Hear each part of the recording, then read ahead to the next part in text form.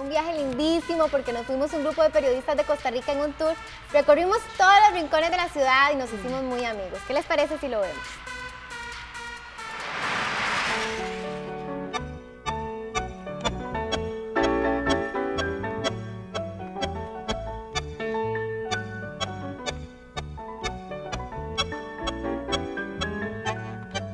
Bueno, y vean qué maravilla. Como parte de nuestro tour en Buenos Aires, nos vinimos a la casa del señor embajador don Eduardo Toya y él nos recibió amabilísimo, nos ha enseñado, además tiene una casa espectacular. Muchísimas gracias, don Eduardo, por toda esta hospitalidad suya. ¡Qué maravilla! Bueno, María Amalia, muchísimas gracias. Yo me siento contentísimo de estar acá. Yo creo que es la primera vez que hay tantísimos costarricenses juntos acá en la casa. Fue muy valiente don Eduardo de recibir a 13 ticos de un solo y quiso demostrarnos su hospitalidad con un poco de sus habilidades culinarias. Don Eduardo ya se puso el delantal del gallo pinto y está listo para hacernos a nosotros unas empanaditas argentinas. ¿Qué les parece? Y bueno, vamos a hacer la primera. Ustedes saben que a mí me encanta la cocina, entonces acá Marti y José prepararon unas empanadas, pero yo siempre doy la pauta. Y estas son unas empanadas argentinas y yo voy a hacer la primera para que después ellos sigan haciendo las, las demás. Pero yo quiero insistir que aquí no solo servimos empanadas argentinas, sino que también servimos comida costarricense. Las empanadas estuvieron deliciosas, pero nuestro recorrido tenía que seguir. Era imposible ir a Argentina y no mencionar el fútbol, y por eso fuimos un rato a ver el entrenamiento del Club Atlético Boca Juniors.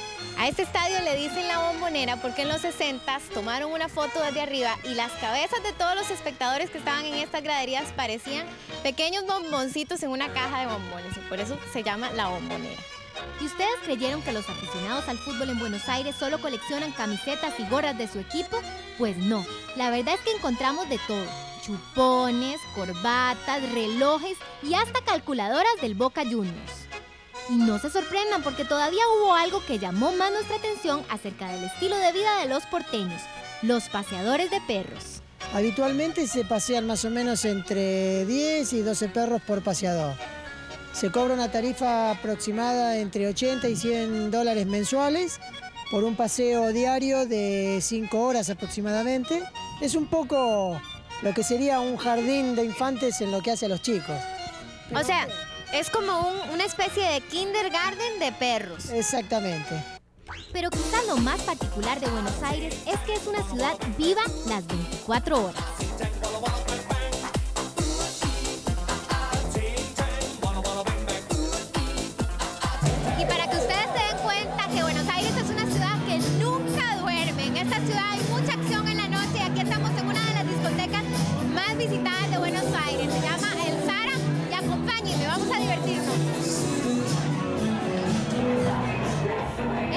Que los argentinos llaman un boliche, el lugar de reunión de todos los fiesteros.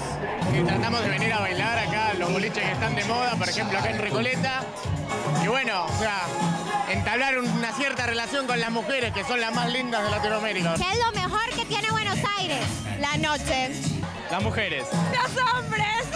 ¿Los hombres? ¿Por qué? Son los mejores los argentinos, muy candentes, bailan bien, son amorosos. Que se puede hacer de todo, desde ir a teatro, cine, o sea, la noche hay para todos los gustos y de todo. ¿A qué hora se pone buena la fiesta?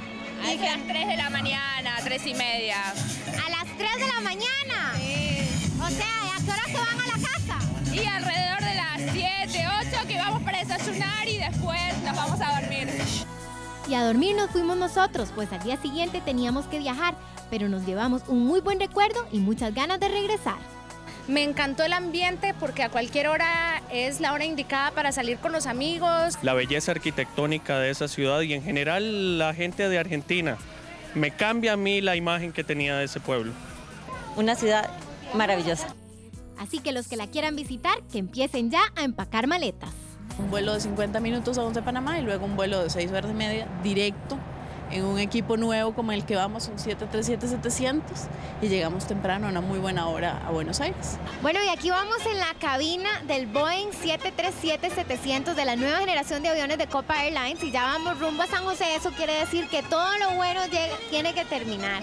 Pero antes de irnos, yo quiero agradecer a todo el personal que hizo posible que nosotros hayamos disfrutado tanto, a la gente de Copa Airlines, a la gente de Galería Mayorista y a todos mis compañeros periodistas que me van a dejar tantos recuerdos por tanto tiempo.